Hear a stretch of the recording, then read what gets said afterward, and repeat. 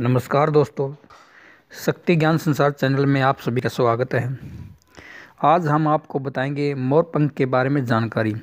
दोस्तों, हमारे इस चैनल को शक्ति ज्ञान संसार संसार को ज़रूर सब्सक्राइब कर लें और घंटी वाला बटन दबाएँ ताकि नई नई अपडेट मिलती रहे। आज हम, आज हमको बताएँगे आप सभी को कि मोर पंख के फ़ायदे। प्राचीन ग्रंथों में हमारे मोर पंख के बारे में काफ़ी जानकारी मिलती है। हमारी देवी देवताएँ मोर पंख को अपने पास रखते थे।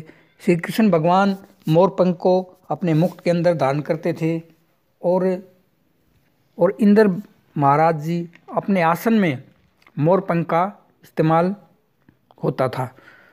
और इस प्रकार मोर पंख के काफ़ी बातें मिलती हैं। मोर पंख से पहले जो ग्रंथ लिखे जाते थे प्राचीन काल में, वो मोर पंख की कलम से लिखे जाते थे। पहले जो मंत्र लिखते थे, वो मोरपंख की कलम से लिखते थे। इस प्रकार प्राचीन काल में मोरपंख का बहुत प्रयोग होता था। तो आज हम उसी मोरपंख के बारे में आपको कुछ जानकारी देंगे। पहला है नकारात्मक ऊर्जा।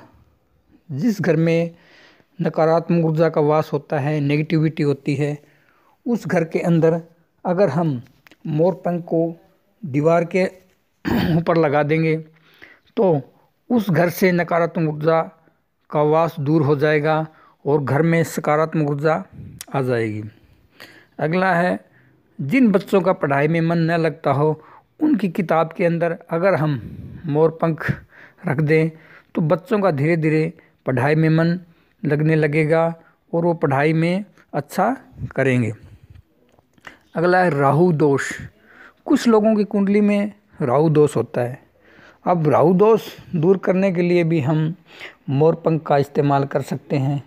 जिसकी कुंडली में राहु दोष है, वो लोग अपने पास मोर पंख का आगे का हिस्सा काट कर अपने पास रख लें तो उससे राहु दोष दूर हो जाता है। अगला है, इसका फ़ायदा सांप और छिपकली को भगाता है। मोर पंख के अंदर वो पावर होती है कि इससे घर में सांप या छिपकली नहीं आते।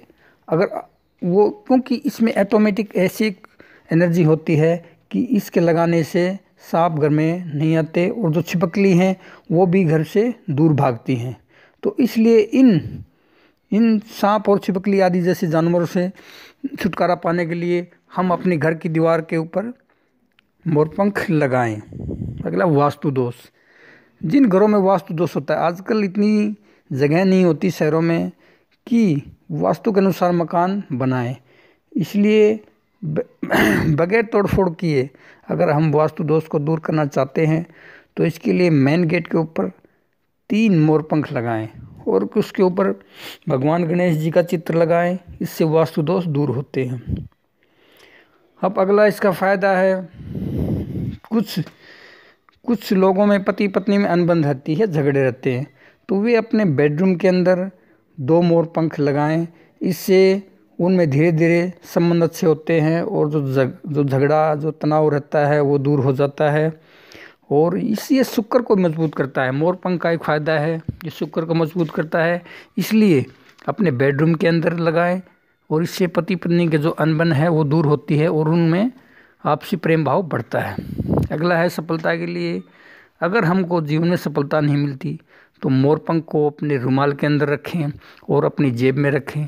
इससे हमने जीवन में सफलता मिलनी लगती है। बुरे सपने, कुछ लोगों को रात को सोने पर बुरे सपने आते हैं। वे लोग अपने तकिए के अंदर अगर तीन मोर पंख रखें और उसको अपने सिराने रख के सोएँ तो बुरे सपन नहीं आएँगे।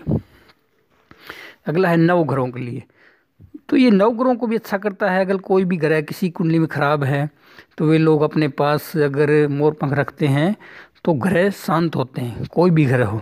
तो इससे जिनको नवग्रहों के लिए भी हम इसको इस्तेमाल कर सकते हैं। अगला आकर्षण। मोर पंख के अंदर एक ये चीज़ भी होती है कि इसके अंदर आकर्षण शक्ति होती है। जो लोग अपने पास अगर मोर पंख जेब में रखें तो उस, उनके अंदर एक आकर्षण, एक सम्मोहन शक्ति पैदा होती है। तो जो लोग अपने अंदर आकर्षण पैदा करना चाहते हैं, वो भी मोरपंख को अपनी जेब में रख सकते हैं। तो ये मोरपंख को आप अगर ये करेंगे इस तरीके से इस्तेमाल तो आपको ज़रूर फ़ायदा होगा। इसमें कुछ सावधानियाँ भी रखें। आप जब भी मोरपंख खरीदें तो ये देखें कि मोरपंख टूटा हुआ न हो। दूसरा, अगर मोरपंख को जब भी खरीदें, आप कोशिश करें शुभ मुहूर्त में ही खरीदें। और तीसरा है, आजकल कुछ चाइनीजी मोरपंख भी आ गए हैं। वो मोरपंख न हो, ओरिजिनल मोरपंख ही लें। तो ये बातें आप ध्यान रखें। धन्यवाद दोस्तों, जय हिंद।